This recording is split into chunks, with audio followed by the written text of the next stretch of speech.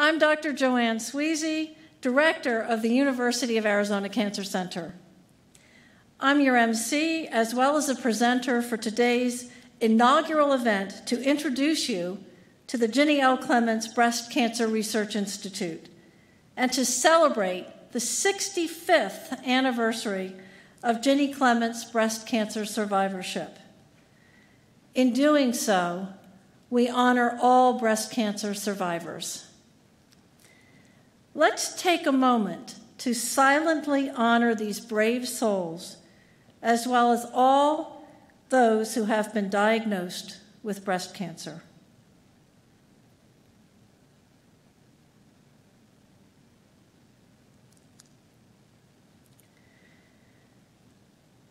Because of Ginny's phenomenally generous donation, we also have the privilege to introduce you to the opportunities we will have available to us at the Ginny L. Clements Breast Cancer Research Institute to expand our innovative and impactful breast cancer research.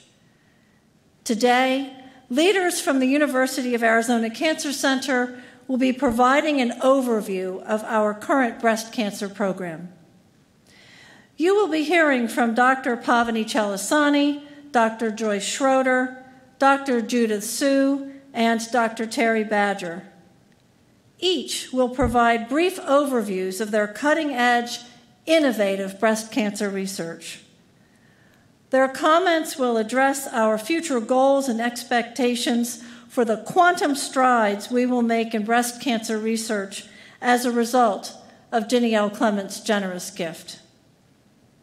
So settle in from the comfort of your homes and offices as we celebrate all breast cancer survivors and provide new hope for breast cancer research. I'd like to begin our program by introducing Dr. Robert C. Robbins the 22nd president of the University of Arizona.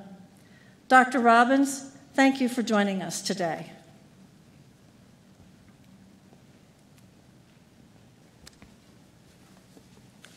Dr. Sweasy, thank you for inviting me to say a few words. And Ginny, thank you for being here. It, uh, it just shows that miracles still happen 65 years later. That's just incredible absolutely incredible.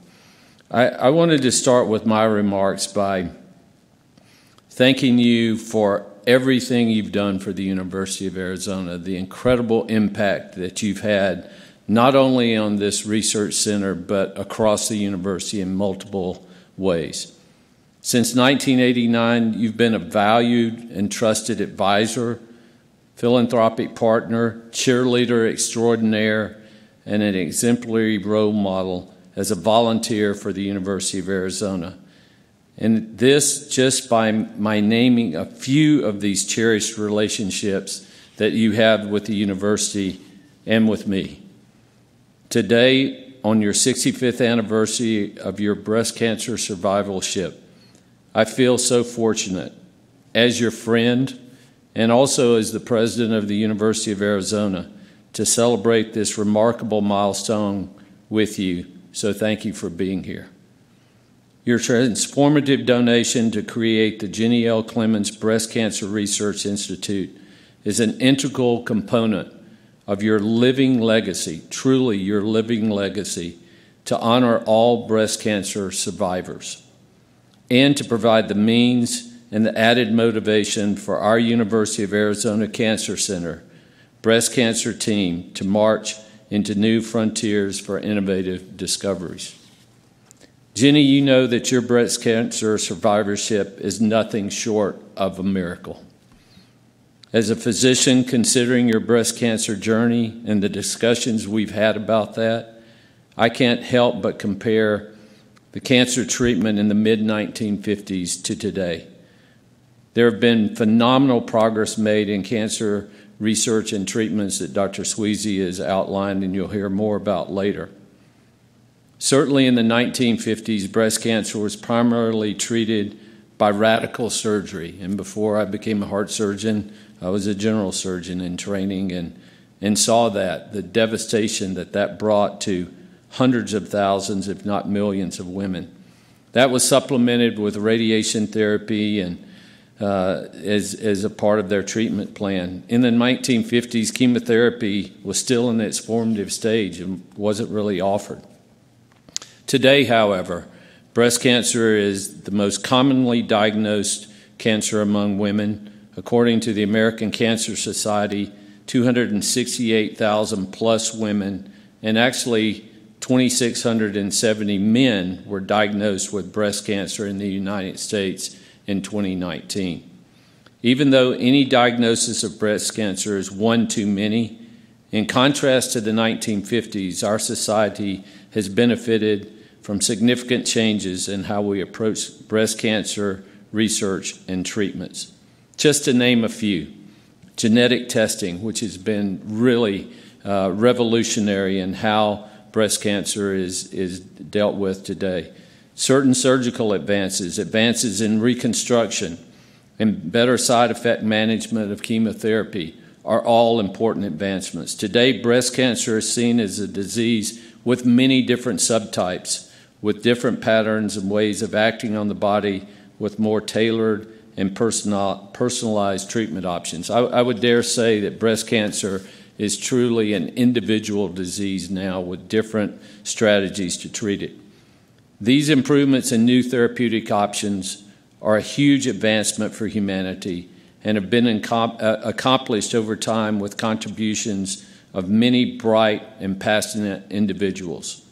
At the University of Arizona Cancer Center, we are so very fortunate to have many of these visionary researchers and clinicians as integral members of our team.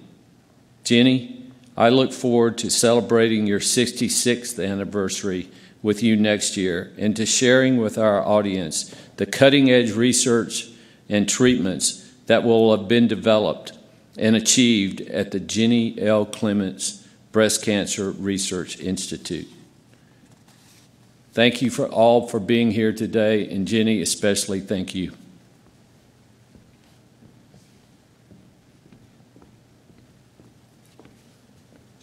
Good afternoon. Before I start my speech, I want to go a little backwards and talk to you about the team that helped me think about giving the University of Arizona a Cancer Center Research Institute. First of all, it started with Mono Okano. Mono, I know you're listening. Thank you, thank you, thank you. It was because of what we talked about that gave me so much thought and interest in doing this.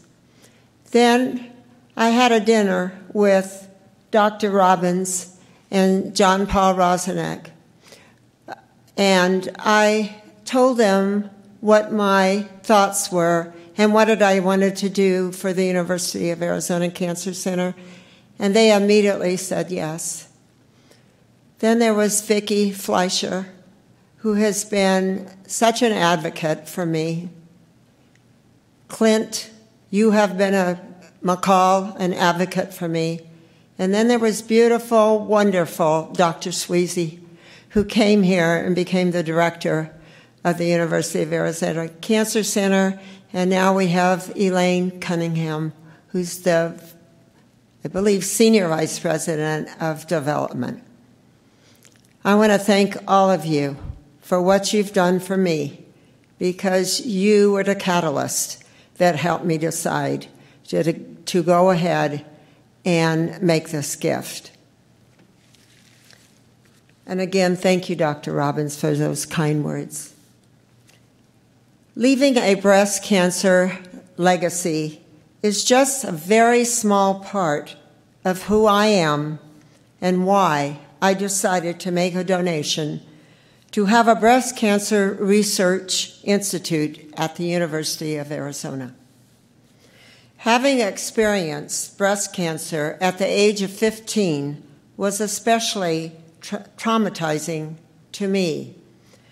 So I decided that maybe I could help so many that I call my sisters and brothers that have experienced breast cancer, or those who have passed away from this cancer through research. Those are the peoples that I want to touch with my donation. I believe research is the only answer to combat breast cancer. Working together, we all can make a difference. As the saying goes, it takes a village.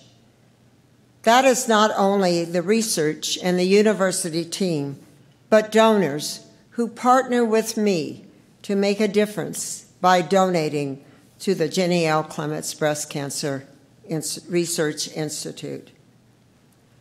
When I am asked why the U of A and why now, why not the University of Arizona and the University of Arizona Cancer Center? They both are an integral part of our community. The team at the University of Arizona that I have collaborated with during this past year, year and a half, have been a cohesive part of my journey, as I said before, to make this donation a reality for breast cancer research in every way. I believe that timing is everything in life. The U of A has very strong leadership, which made my decision to make this gift an easy reality and to be able to see it grow during my lifetime. I hope that through research at the Ginny L. Clements Breast Cancer Research Institute that a cure discovery is found or a drug is found to eradicate breast cancer. I know it can be accomplished if we all work together towards these go- goals. Thank you again, and God bless. Ginny, don't go. So please, stay right here.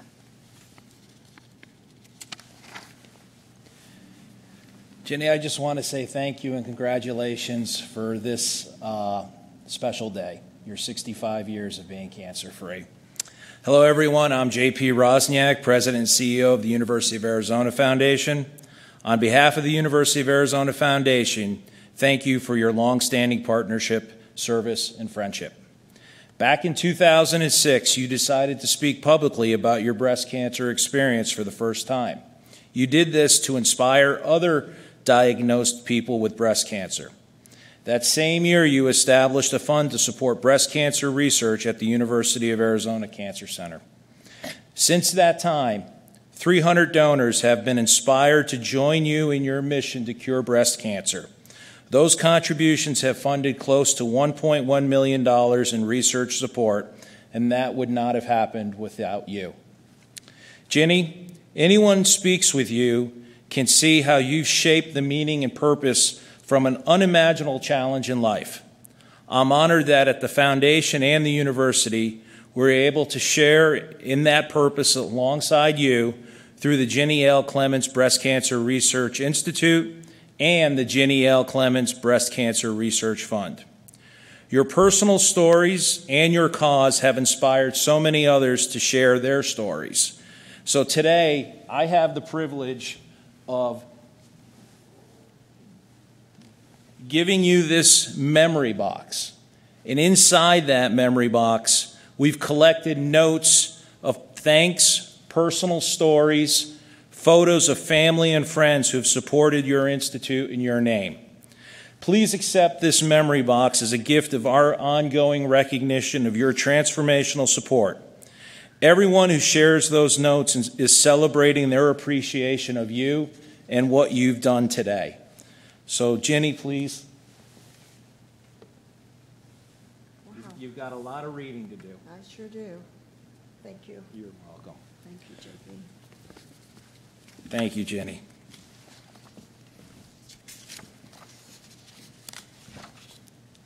So now it's my great pleasure to introduce to you Dr. Michael Dake, Senior Vice President of the University of Arizona Health Sciences, for the next portion of our program. Good afternoon. I'm Mike Dake, Senior Vice President for the University of Arizona Health Sciences.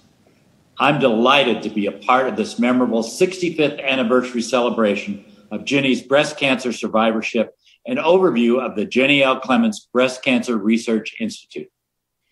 Congratulations, Ginny. You are truly an inspiration of hope to us all. As a physician and head of the University of Arizona Health Sciences, I have the distinct honor of leading and supporting the innovative training, cutting edge research, and statewide outreach of our educators, researchers, and clinicians who are each dedicated to improving healthcare. The University of Arizona Health Sciences is located on campuses in Tucson and Phoenix, and we are one of the top ranked academic medical centers in the southwestern United States. Our five colleges and 12 centers work with partners and affiliates throughout the Arizona and the greater Southwest to address some of the most pervasive healthcare problems of the 21st century. As a leader in next generation education, biomedical research, and public outreach, the University of Arizona Health Sciences employs nearly 5,000 people, has approximately 4,000 students and 900 faculty members, and garners more than $200 million in research grants and contracts annually.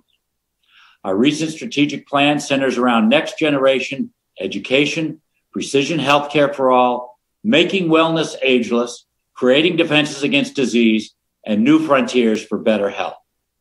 In keeping with the strategic plan, the University of Arizona Cancer Center's vision is to be the preeminent leader in achieving freedom from cancer by extending and enhancing the lives of patients regionally, nationally, and around the world. During today's presentation, you will hear from Dr. Sweasy and her team of outstanding breast cancer researchers and clinicians about how they are implementing creative collaborations and advancing research driven, multidisciplinary cancer prevention and patient programs for our breast cancer patients. With the establishment of the Ginny L. Clements Breast Cancer Research Institute, we are one step closer to a world where there are many more breast cancer survivors like Jenny, and where breast cancer is no longer impacting the lives of so many people. It's my pleasure to turn the program over back now to Dr. Sweasy. I know you will be as inspired and encouraged as we are by their efforts. Thank you. I would like to express my gratitude to Ginny Clements for her transformational vision and support to create a destination breast cancer research institute right here at the University of Arizona Cancer Center, the only NCI designated comprehensive cancer center headquartered in the state of Arizona. And here you see a picture of the University of Arizona Cancer Center with the letters NCI-CCC, the NCI designation, on top of the picture of the Cancer Center. We've earned our National Cancer Institute Comprehensive Cancer Center designation as a result of our cutting edge research and extraordinary patient care here at the University of Arizona Cancer Center.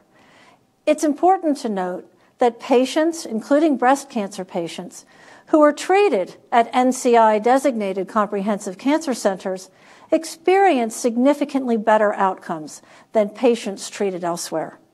And again, I'd like to point out that the University of Arizona Cancer Center is the only National Cancer Institute Comprehensive Cancer Center headquartered in the state of Arizona. I am so pleased to introduce you to our breast cancer research team. In fact, the team is much larger than this. I could only fit this many individuals on this particular slide. It takes a team to meet the challenge of breast cancer because breast cancer is a series of incredibly challenging diseases. And it takes clinician researchers and basic researchers and prevention researchers and supportive care researchers to find solutions to these challenges that confront everyone with breast cancer. So today, myself along with my colleagues would like to introduce you to some of the breast cancer research and care that takes place at the University of Arizona Cancer Center as part of the Ginny L. Clements Breast Cancer Research Institute. Here at the University of Arizona Cancer Center, breast cancer treatment and care and research is patient centered. And today you'll hear about some of the amazing cutting edge research that's performed in the laboratories of the Ginny O. Clements Breast Cancer Research Institute. You'll hear about treatment and our multidisciplinary care teams that ensure that everything the patient needs is met and that plan incredible uh, treatment protocols so that outcomes are a- absolutely the best outcomes the, can- the cancer patient uh, could experience. Uh, we also have prevention research at the Cancer Center in breast cancer. We're one of only five clinical trial network sites in the nation that administers prevention clinical trials, and we have several breast cancer prevention clinical trials currently onboarded at the University of Arizona Cancer Center. And of course, because breast cancer affects the patient and their families, we have incredible supportive care programs. We've long been known for our supportive care programs, but you'll hear about the successes of one of these programs today. And now let's talk more about the Ginny O. Clements Breast Cancer Research Institute. The first thing I'd like to tell you is you've heard that Ginny Clements was 15 years old when she was diagnosed with breast cancer. Ginny chose to turn this incredibly traumatic experience into a way to serve others by donating so that we could launch the O. Clements Breast Cancer Research Institute at the University of Arizona Cancer Center and treat breast cancer patients so that they would not have to endure what she endured. Ginny, please accept my sincere appreciation for your gift. The mission of the Ginny O. Clements Breast Cancer Research Institute is to provide the best cancer care for breast cancer patients in the state of Arizona and beyond through cutting edge research. So, let me give you an update of our progress on the Ginny O. Clements Breast Cancer Research Institute and our goal to make this a destination institute for breast cancer research and patient care right here at the University of Arizona Cancer Center. We've appointed an external advisory board of eminent scientists and a patient advocate to ensure that we stay on track. We hire the very best researchers and cancer caregivers and advocates and clinician researchers at our institute. We've initiated a search for the inaugural director of the Ginny O. Clements Breast Cancer Research Institute. And our next steps are to recruit additional members of the team, to renovate space and cultivate team science. The space will be wide open space so that members of multidisciplinary teams, clinician researchers, basic scientists, supportive care scientists can come together along with patient advocates and discuss the new cutting edge research and new ways of treating breast cancer patients right there within the University of Arizona Cancer Center. And we intend to raise additional philanthropy dollars to continue to expand this Breast Cancer Research Institute. And now I'd just like to give a brief overview of my own work in breast cancer research. I'm a basic scientist, but as I've told you, it takes a team. And this is the team that worked together with me on this particular novel treatment for breast cancer. On the left of the slide is Pat LoRusso, who's a renowned clinician trialist in breast cancer research and also a member of the external advisory board of the O. Clements Breast Cancer Research Institute. Next to her is Michael Krauthammer, a computational biologist, and then Isabel Alvarado and Mariam Mahmoud, both basic scientists who are lead authors on this paper. Pavani Chalasani is a member of our team here at the University of Arizona Cancer Center, and you'll be hearing from her shortly. And Kurt Schalper is an immunopathologist who's also part of this team. And I'd like to note that this research was supported by the National Cancer Institute, the University of Arizona Cancer Center, and the Yale University Cancer Center. So we know that treatment of breast cancer cells with a drug called a PARP inhibitor can kill the cells, especially if they have a mutation in the BRCA1 and BRCA2 gene. And we set out to treat some BRCA1 deficient cells with a PARP inhibitor. And these are the BRCA1 deficient cells pictured in this image. And these aren't treated, these are just growing in a petri dish. But then when we treated them with a PARP inhibitor, we noticed something very extraordinary. These cells are actually liberating their cytoplasmic DNA and all of those dots. They're liberating the DNA into the cytoplasm from the nucleus. And this is interesting because previous work by others had shown that when DNA enters the nucleus, it can release cytokines that attract the immune system. So the next question we asked was the immune system being attracted? Because if the immune system is attracted into a breast cancer tumor, for example, it can kill the tumor. So we took this into a clinical trial, and this is a triple negative breast cancer tumor here that has a BRCA1 mutation before treatment with the PARP inhibitor. And in red and yellow dots, you can see that some of the immune cells are already present in that tumor. But after six weeks on a PARP inhibitor, look what happens. This tumor has an incredibly huge amount of immune infiltrate, meaning that this tumor has a huge chance of being killed by the patient's own immune system as a result of treatment with a PARP inhibitor. I'd like to thank you so much for the opportunity to present the Ginny O. Clements Breast Cancer Research Institute and my own research today.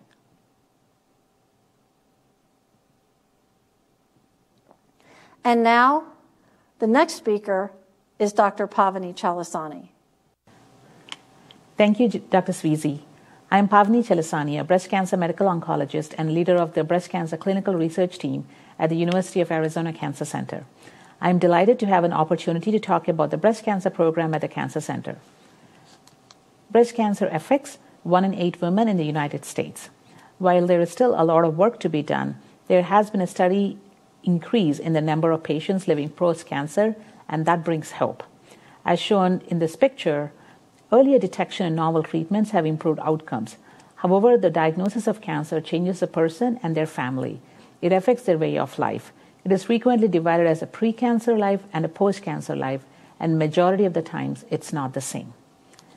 Breast cancer treatments has changed from seen by a surgeon, taken to surgery, sent to a medical oncologist, and then sent to a radiation oncologist to a multidisciplinary approach where the entire team of physicians from medical oncology, breast surgery, radiation oncology, plastic surgery, pathologists are brought together at the time of cancer diagnosis, coming up with the optimal treatments for the patient.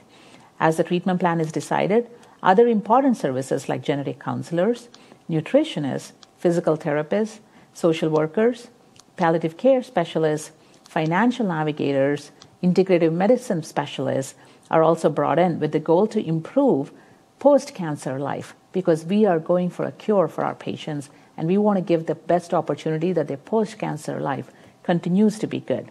An important part of what we do, in addition to this multidisciplinary care here at the Cancer Center, is clinical research. Clinical trials at the University of Arizona Cancer Center range from prevention, diagnosis, therapy trials, which are looking at new treatments or approaches in surgery, radiation, or new drugs, and also in survivorship. I want to give a few examples of the standard of care changing trials here at the University of Arizona Cancer Center. We are the lead site for the randomized phase 2 trial, which is looking at a new drug combination for the HER2 positive metastatic breast cancer. This trial is currently open in 15 academic sites across the United States, with the University of Arizona Cancer Center being the lead on this. The next one is the physicians at the University of Arizona are national study leads in the National Cancer Institute trials, which set the new standard of care. One example is the currently ongoing study of a phase 2 randomized study looking at a new drug called olaparib, which is administered or given in concurrent with radiation versus radiation therapy alone to improve the outcomes potentially for patients with inflammatory breast cancer. And that's the SWOG 1706 is a study number for that. With all things said and above, the heart and soul of what we do here or what we strive to improve is by translating our University of Arizona Cancer Center science translating it from bench to bedside by doing what we call as investigator initiated trials. I'm just going to give an example of this. One example is a collaboration between Dr. Vanderah and myself. We worked together to study opioid sparing therapy for patients with metastatic breast cancer. Frequently, when breast cancer spreads, it goes to the bone and it causes a lot of pain. One of the main treatments for it that is opioids, which helps, but all of us are aware of the side effects and their concerns which happen with you know p- taking opioids and also the other um, concern for addiction.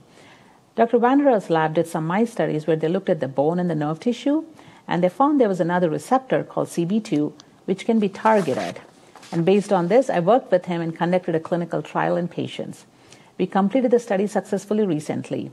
I have a lab, but I do translational research, which means I study blood, cancer tissue, and the urine changes which are happening, you know, with other uh, treatments or like um, imaging or other other um, modalities that we are trying to study. So in this collaboration, we did blood and urine based changes which happen with pain and also with pain medications. They were tested and they were done in my lab to again to study their study rationale. Based on our results, we applied for a provisional patent application last December. Since I mentioned earlier about translational studies, I just want to go over one more scenario which is gaining a lot of interest in breast cancer. As everyone is aware, it takes decades to test new drugs, show how effective they are, and then they get approved.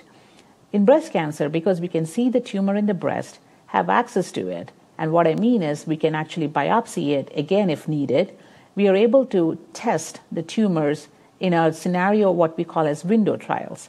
So what that means is we can actually treat the patients with the tumor and then repeat the biopsy or you know take them to surgery after treating them and then we can see how the drugs actually affected the cancer directly. These are called window trials and they actually help in development of novel therapies in a faster way. Two examples of these trials where the cancer center investigators are leading nationally and also within what, what we call as IITs are looking at a new novel therapy for triple negative breast cancer by a drug called PARP inhibitor drugs, and another one is called ZNC5, which is a novel oral potent anti-estrogen therapy. In summary, we have the state-of-the-art multidisciplinary clinical team here at the University of Arizona Cancer Center. We do research from basic science to studying biology of cancer, understand new pathways on how cancer grows, to prevention, detection, novel treatments, and also in survivorship because every setting is critical for our patients and community. With Ginny's generous support and, cre- and creation of the Ginny L. Clements Breast Cancer Research Institute, the Cancer Center is poised to take it to the next level and become a premier breast cancer institute of excellence. Thank you. Hello, everyone. My name is Joyce Schroeder. I'm a professor of molecular and cellular biology at the Arizona Cancer Center. And today I'm going to tell you a little bit about the work that we do in my laboratory, where we focus on trying to understand what drives metastatic breast cancer. So in this first image I'm showing you now, we have some pictures of normal breast cells and cancerous breast cells. And it really demonstrates some of the key things that we see when we're comparing breast cancer to normal cells. And if you look at the images on the right, if you can see these bright green outlines of cells, these are all normal epithelial cells in, uh, from the breast, and, and they're doing what they're supposed to be. So you can see that they're sort of the same structure, they look very similar, they're all attached to each other, and they're doing their job as they're supposed to. So in the breast, this would be forming a duct, producing milk, feeding offspring, that sort of thing. And then you can compare that to the cells on the left, which I hope you can see look really different. And the cells on the left are from a metastatic breast cancer patient. And still, the outside of the cells are still labeled with green, but hopefully you can look and see that they look very different. So not only is that beautiful organization of the normal cells lost, they're sort of piled up on top of each other, they're doing their own thing, but if you look at that green edges, it really looks sort of spiky and invasive. And this is really representative of what metastatic breast cancer looks like. And it's one of the things that we're studying in my lab to try and understand what is causing this difference between the normal cells on the right and the metastatic breast cancer cells on the left. So in my lab, we focus on a subtype of breast cancer called triple negative breast cancer. And triple negative breast cancer is a highly metastatic disease. In breast cancer, it tends to metastasize to the brain, the lung, the liver, the bone. And when it metastasizes, this is when we have uh, a high death rate amongst patients. And so this is really the part of the disease that we want to focus on, try and understand, and try and develop therapeutic drugs for. The image on the right shows you some triple negative metastatic breast cancer cells that we've taken from a patient and are growing in the lab. And this sort of wavy stuff in the background of the cells, this is the tissue. So what we can do is take tissue cells out from a patient, put them on tissue in the lab, and then study what's going on inside them and see wh- what sort of changes they're making, and then compare that to normal cells and, and try and try and find the driver for the metastatic disease, and then try and develop a therapy against it. So I'm showing you some images um, that were produced by two graduate students who were previously working in the lab, Atlantis Russ and Shauna Callan. And they were trying to understand this basic idea of if a protein is sitting on the cell surface in a normal cell, so you can see this again, this is this normal cell image on the left with these green proteins around the edges of the cell, doing their job, communicating with the environment. Um, what happens to them in metastatic breast cancer? And one of the first things they discovered was that they're actually not sitting on the cell surface in metastatic breast cancer like they're supposed to. In fact, they go all the way inside the cell to a new location where they take up a brand new role. And, the, and this new role actually helps drive migration and metastasis in breast cancer. And you can see that in the image on the right with the arrow with these bright yellow points of, cell, of these same proteins that used to be on the cell surface now have gone inside. And so once we discovered that was happening, we tried to learn more about the process so we could try and target it. And the images I'm showing you now are from a different graduate student named Matt Hart, who graduated a few years ago, who worked on developing a drug to actually target that process. So this drug is called ENLS1, and the images in the middle are of metastatic breast cancer cells that were treated with the drug that he developed. So if you look at the two images on the left, on the top is just after he treats the cells with the drug, and then on the bottom left are what happens after a few uh, days after being treated with the drug. Essentially, the cells all die. They sort of explode by a very specific mechanism that causes them to die. And so we could see that this was happening to the metastatic breast cancer cells uh, in the lab. So next, we wanted to move this into a mouse model. Because if you want to understand metastasis, you have to develop a model in which cells can leave that primary site and metastasize to secondary organs, which is what happens to, into patients. So, this is an example of an experiment in which we took a type of triple negative breast cancer called inflammatory breast cancer, and we injected this tumor type into the mouse, and the mouse will grow tumors. And you can see this in the blue lines. You can see it rising up over time, that the tumors get bigger and bigger and bigger. And then in the red and the green lines, you can see that we take mice that have these tumors developed and we inject drug into them, and the tumors really, really dissolve. And so this was really exciting to us that not only could it do this in our cells in the lab, but we could actually take tumors growing in mice and get the same impact, that we could get the, the tumors to not just stop growing, but to actually go away. And so this is the drug that we're focusing on now to take to clinical trials because when you think about what is the process by which you um, go from what I've described and that we try and figure out, you know, what is the basic thing going wrong, then we try and develop a therapy against that thing, then what do we do with it? Well, the things that we do with it are first, we take it to the FDA, and the FDA says we want to make sure this isn't a toxic drug because you know with with the chemotherapies and, and other drugs that we have already, those are quite toxic. And so one of the goals that we have is not just to treat the cancer, but to do it in a non-toxic way. So this drug that I was just telling you about is now undergoing studies to find out whether or not it's toxic. And then once we know how toxic it is, then we can take that information, again, take it to the FDA and get approval for a clinical trial. And so I'm now working with uh, clinicians in the Cancer Center to try and think about what we need to do to apply for that clinical trial.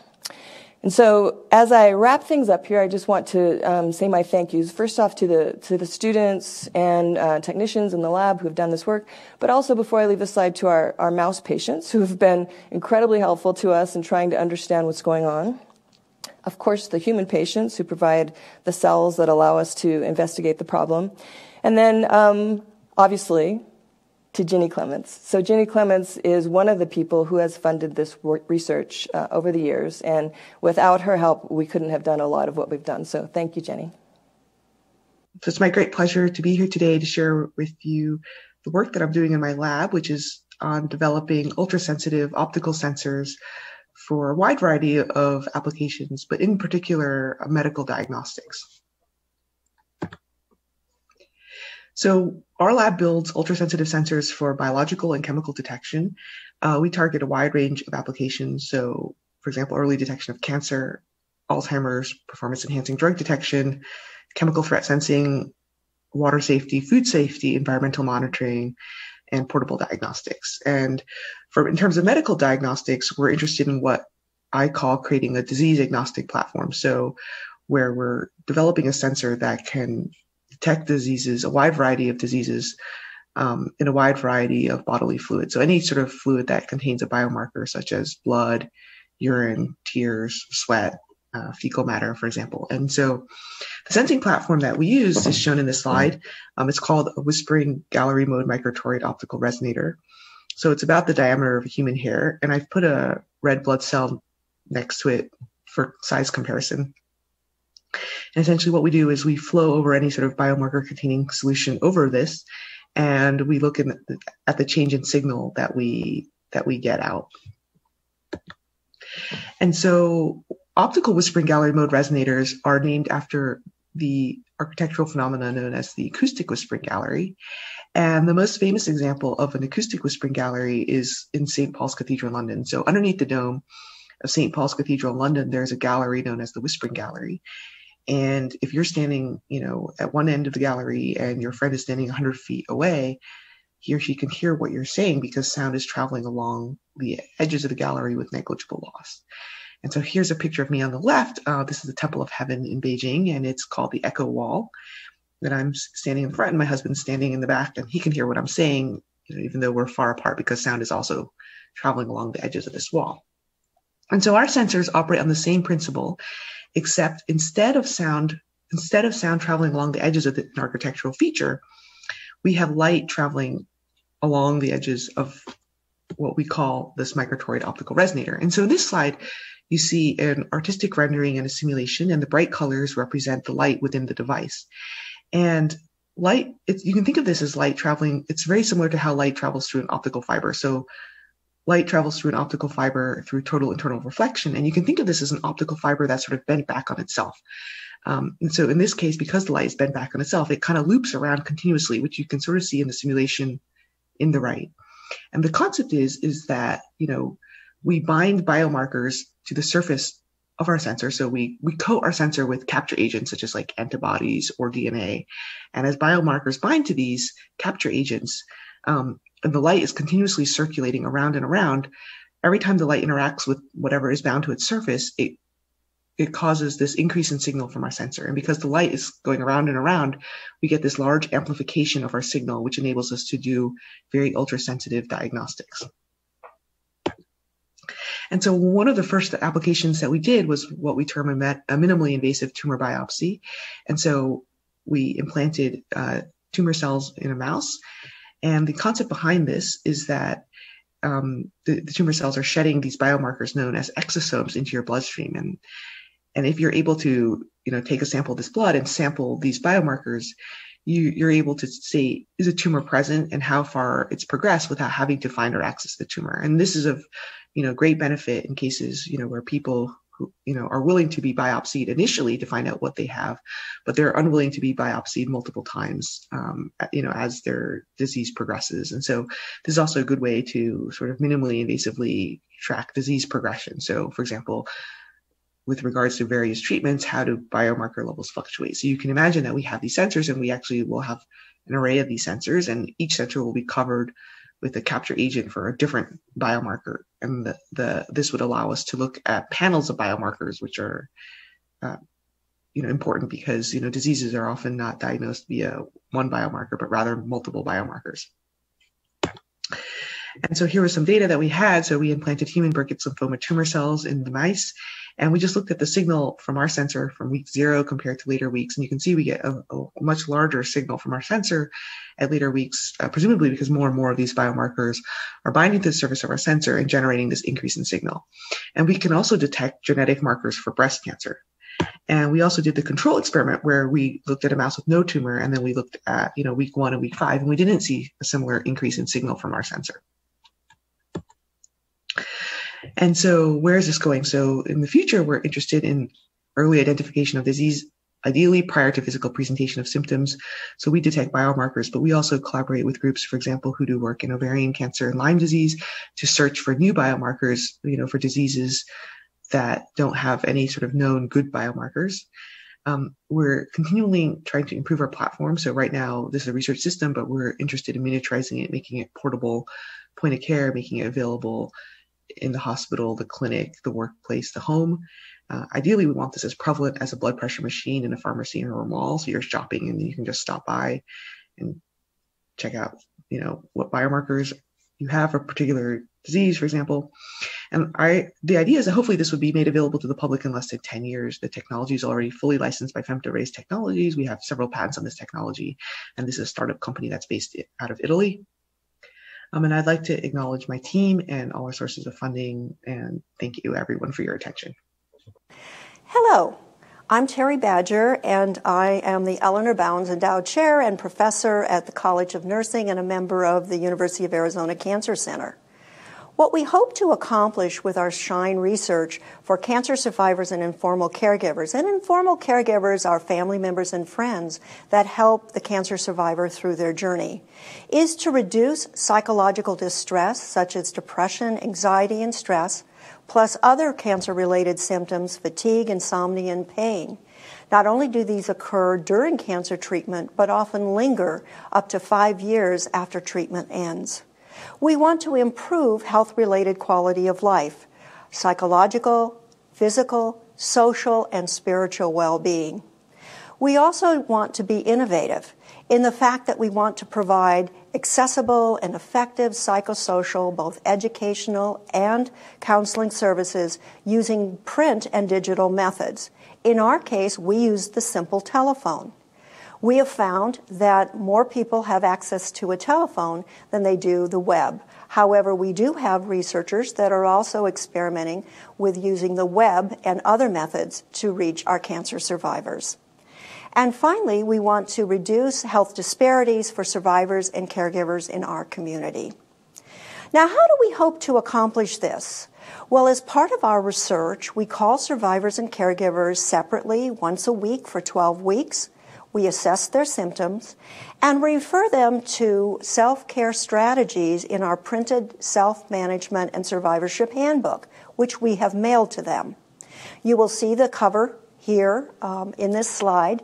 We also have this available in Spanish. And each symptom has a definition, has self care strategies, and how to talk to other people about the symptom, as well as when to uh, refer back to your provider. Now, if you're receiving counseling, our social worker calls you to, uh, for eight weeks weekly to provide counseling over the telephone. And again, everything is in English and Spanish based on your preference. The telephone allows for access because it removes barriers of language, uh, transportation, time off work, etc. Now, let me give you an example. This is Don and Donna. Um, she had breast cancer. Both are in their mid 50s. They lived about two out, hours outside of Tucson, but they came to the Cancer Center for their treatment. She worked in the school system, he was self employed. We provided symptom management and counseling over the telephone at times convenient for them. I typically talked with one around lunchtime and one a little bit after work. This supportive care service allowed for them to access the needed services and not miss work, which was very important to them. It reduced psychological distress associated with cancer and its treatment. It improved their finances because they didn't have to miss work, and it improved their communication with others. And over the course of the treatment, we became very close. And so Don gave me a call to share the secret celebration at, for the end of cancer treatment. He bought Donna a new car because he didn't want her to have to drive around in her old car, which she associated with the two hour drive into Tucson to obtain cancer treatment. So here are our investigators in the Symptoms Health Innovations and Equity Group. Uh, to my left is Dr. Chris Segrin. He is a professor in the Department of Communications, and he is a social uh, scientist who's very interested in, in, the, in uh, the dyadic interdependence between cancer survivors and caregivers. You have already talked uh, and heard from uh, Dr. Uh, Chalasani. Uh, I'm the only nurse.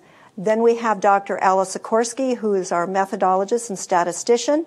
On the bottom row are a group of investigators doing other kinds of research. Dr. Tad Pace, uh, does compassion based training with cancer survivors and caregivers. He's also very interested in the stress inflammation response, which is important in cancer recovery.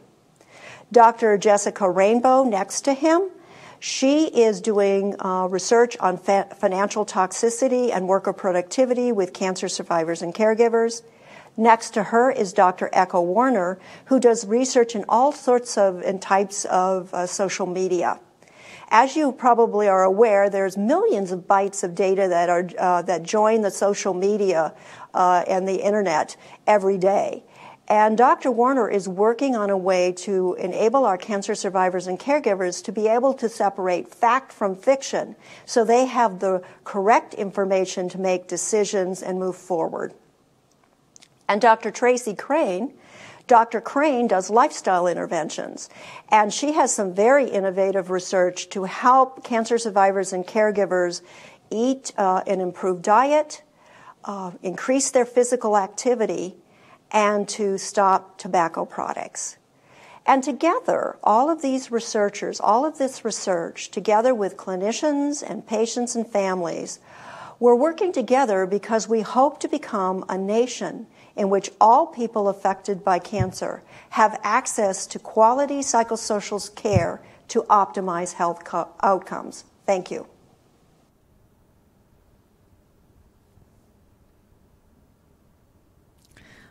We hope our presentations have provided a window into our current breast cancer research and hope for the future of breast cancer research.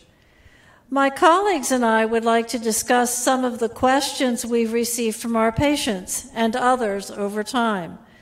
We hope these will be helpful to you too. I'd like to start with a question for all of our panelists. How do you think the research you're doing today will change the treatment and prevention of breast cancer in five to ten years?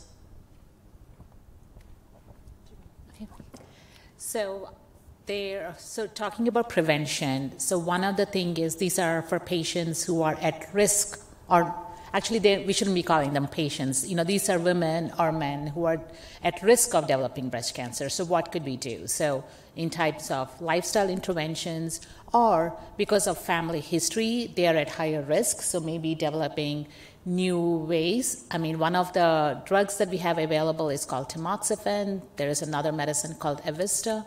These are available, but they do come with their side effect profile, and not everyone is keen on taking them because they come with other side effects. So there is active research going on in developing drugs which don't have the side effects actually delivering drugs as a gel you know so that you can just apply topically in breasts and which will reduce the tissue density rather than actually getting absorbed into the blood you know? So there's a lot of new um, research and new things in terms of technologies also. So that is for drugs. In terms of technologies now we have 3D mammograms available, which are actually better at looking at the pictures. I mean, the, when they came on and that we started looking at the tomo images, they are so different. And you know, it's just looking at something which is just like popping up now compared to what the 2D images we had before. So there's definitely advances there. Uh, new things here at the Cancer Center, at the amazing research we do, they're looking at a very low dose CT to look at you know, these patients who have, or women who have really bre- dense breast tissue and we can't really identify where mammograms are not good, but having a new 3D low dose CT mechanism. So, new technologies and new medications to kind of help, but importantly, diet, exercise, lifestyle, and educations of our community will also help. You know, and we've been treating breast cancer for decades with uh, drugs that actually damage DNA. And so we, we really have to learn how DNA damage, first of all, leads to breast cancer, and secondly, can be used to treat breast cancer. And so we also have precision medicine now. So you and I are collaborating on, on a, a study to look at some of the DNA repair mutations in breast cancer that may predispose people but may also be the Achilles heel of the tumor. For example, like BRCA1 and BRCA2. So that's a that's another thing that is just amazing today. Uh, that's going to really help us understand how to treat breast cancer Yeah. better.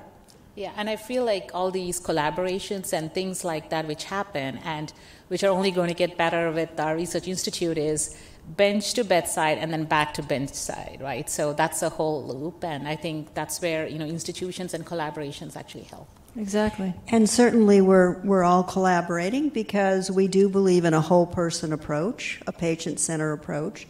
So we really want to look, a- as uh, Dr. Chalasani said, across, uh, across multiple different domains so that we're looking at new drugs, we're looking at better drugs, but we're also looking at better ways to provide supportive care, change lifestyle so that we can prevent cancers in the future. Absolutely. And, and if we really want to develop targeted therapeutics that are going to help our patients, we really have to spend a lot more time understanding the basics of the disease. We've, myself and colleagues around the world have spent decades trying to understand how breast cancer forms, why it survives in metastatic sites, and there's we've learned a lot, but there's still so much more we need to learn just by doing the basic science for that. And uh, it's it's a really important base for everything that comes behind it. We can't develop great drugs if we don't know what we need to target. Right, so basic science is critical to the next discoveries and the patient. It's entirely patient centered. It has to be. So, Dr. Chalasani and Dr. Badger, you're both involved with clinical trials through a different perspective. We've heard from patients that thought being asked to enroll in a clinical trial meant their treatment options had run out. Is that true? And will you describe the process for being enrolled in a clinical trial in your area? Well, certainly, um, I don't agree that your treatment options have run out. I certainly think that there's lots of different clinical trials that will expose you to some new and innovative methods. If you want to become a part of any of my trials, there's two simple ways to do it. You can either email me at tbadger at arizona.edu, tell me that your name, your phone number, and when you would like to be called, and I'll have the research team follow up.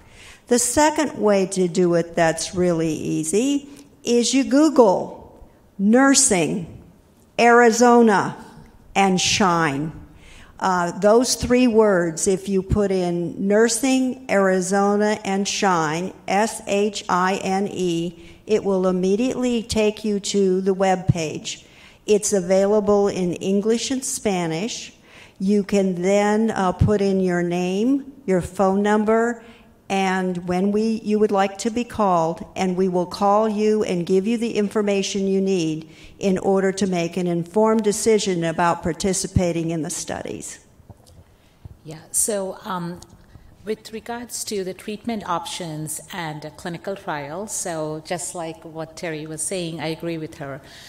You know, there are options and there are treatments, but it all depends on individual patients or individual persons, their condition and their scenario. So we have to take that into account and offer what are the next options. Um, frequently, when patients say they don't have any options or we tend to do it, that is typically when they have metastatic cancer or a stage four, as we call, and towards multiple lines of treatments. Um, we have a lot of phase one trials, like looking at novel drugs, you know, like the ones Dr. uh, Schroeder was mentioning, you know, early ones that we are developing and bringing first in human trials.